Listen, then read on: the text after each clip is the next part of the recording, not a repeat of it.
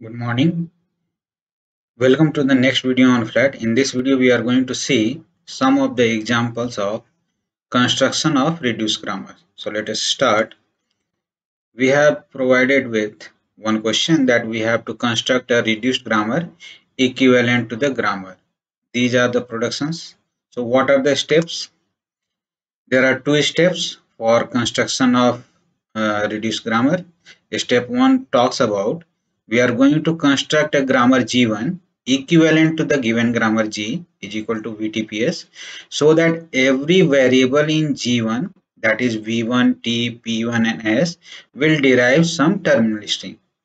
And in step 2 we are going to construct a grammar G prime consisting of V prime, T prime, P prime and S equivalent to G1 the grammar that we have obtained in step 1 so that every symbol in G prime appears in some of the sentential form of G prime and which is equivalent to G1 and hence to G.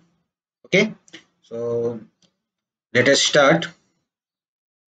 As we have discussed in the earlier video, the algorithm, we are starting with step 1 that is every variable should derive some terminal string. So these are the basic construction.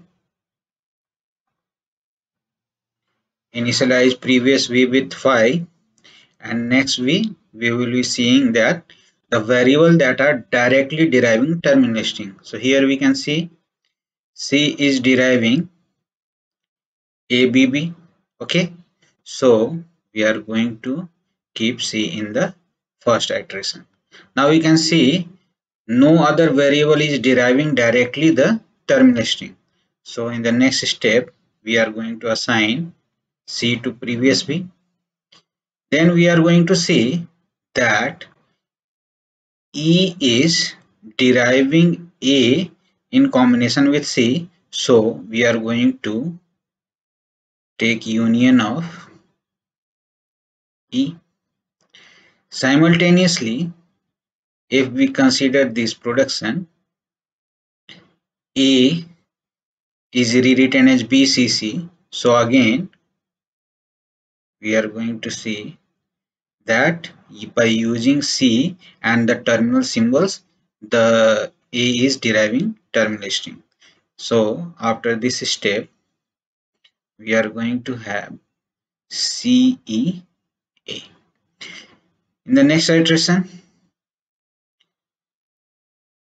value of this previous V is assigned as CEA and next V we are going to see that S is rewritten as AAA and A is appearing in next V. So we are going to include S as well. So C E A S this value is going to be assigned to previous V and now we can see that nothing is going to be added in this set as no other variable is deriving terminal string.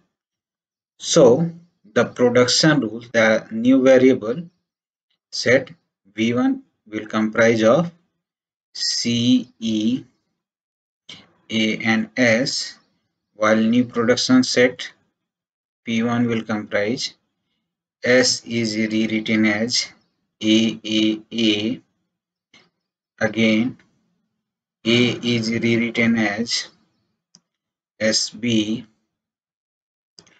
BCC C is rewritten as ABB and E is rewritten as AC.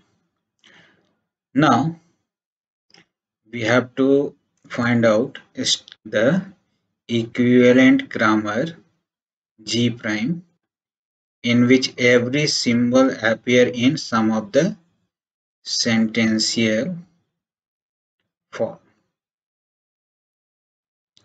So we are talking about non-terminal and terminal symbols that are directly derivable from S and then we will see how we are going to reach at a particular terminal symbol or variables. So starting with S as we can see the production S is directly deriving small a that is terminal symbol and A so we are going to have A and A. Next we can see here A is deriving B and A is deriving C. So again we are going to have terminal symbol this and this symbol.